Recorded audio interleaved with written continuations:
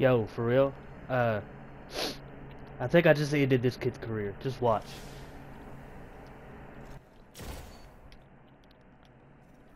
Defend the probe, Guardian.